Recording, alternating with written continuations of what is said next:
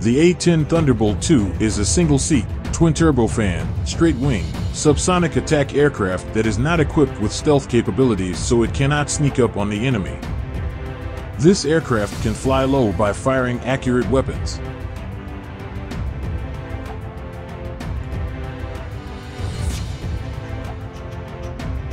Apart from the name Thunderbolt, the A-10 was also nicknamed the Warthog by its pilots and crew. This aircraft was greatly feared by enemy armored vehicle crews because its thunderous arrival was like a rain of fire falling from hell. Its attacks can penetrate armored walls and kill enemy troops in its rapid attack.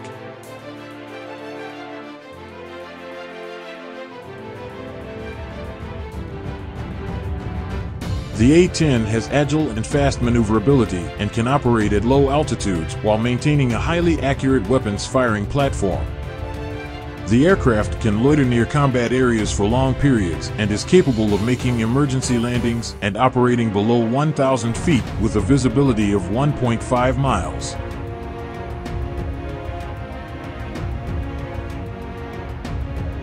The A-10 Warthog's wide combat capability and short takeoff and landing capabilities enable operations in and out of locations close to enemy lines. Apart from that, the A-10 Warthog is also equipped with night vision goggles to be able to operate on dark battlefields.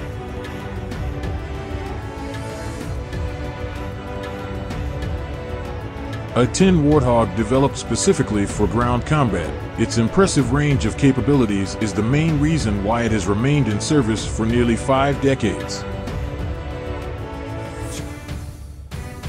Can the A-10 Warthog be a stealth fighter jet? Some time ago, rumors emerged from military observers that the A-14 was launched, which is a clone of the A-10 that has stealth capabilities.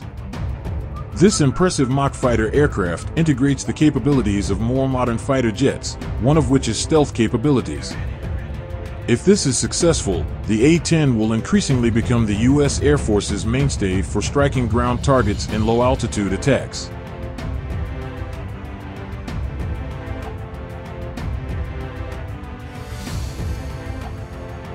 Many military observers compare the A-10 Warthog with the F-35 Lightning II in carrying out ground attacks, which has a different way of carrying out ground attacks.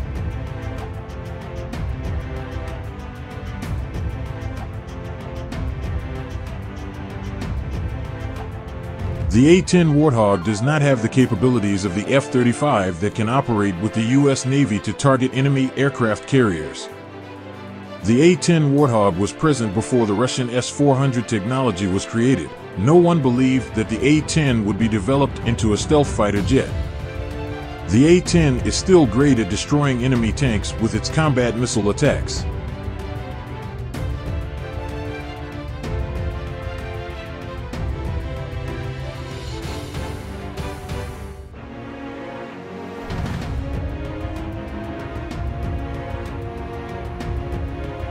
A 10 stealth Warthog not needed in future wars.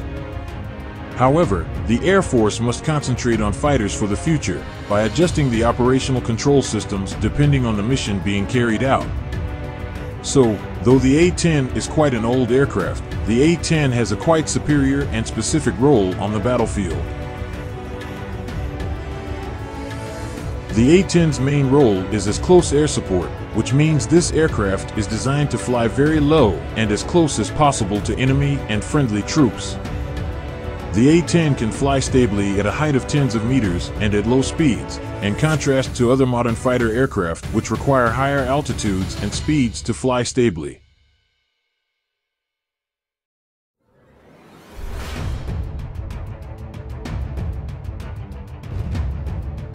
Armament The A-10 uses an autocannon or more commonly known as the GAU-8 Avenger 30mm machine gun.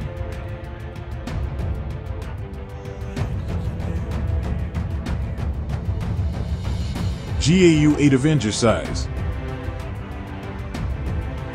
Comparison of the size of the Avenger bullet with the 7.62 by 63mm bullet. The cannon used by the A-10 has an effective range of up to 1.2 kilometers with an accuracy rate of 5 miles. 80% this means that at an angle of 5 milliradians. This is still quite competent considering that the A-10's shooting objects are enemy trucks or combat vehicles.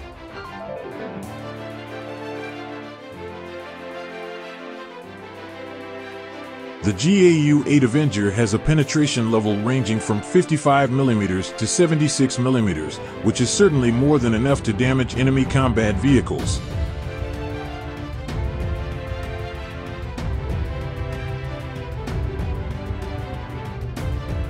Apart from that, the A-10 also has 11 hardpoints that can be equipped with various types of weapons ranging from rockets, land attack missiles Maverick, and bombs.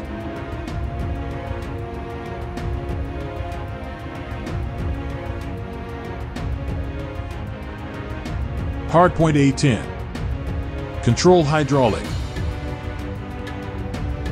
In addition, the A10 has two hydraulic systems for flying. However, the A10 can fly with only one hydraulic system. This means that the A10 can still fly with only one elevator, one aileron, and one rudder.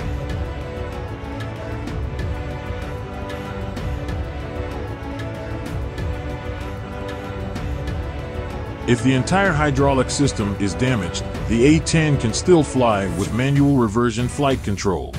This system allows the aircraft to still be controlled in a limited way, so that at least the pilot can still get away from the battlefield to eject or in conditions that allow flying back to base. The left end of the wing is the flap, while the right part is the aileron and trim tab. Generally, trim is done automatically by the system. However, in manual reversion where the hydraulics are completely turned off, the connecting part rod indicated by the red arrow acts as a forced driver of the aileron. By forcing the trim to move, the blowing wind will forcefully raise lower the ailerons so that the plane does not immediately fall when the hydraulics are completely dead. This is not found in other fighter aircraft.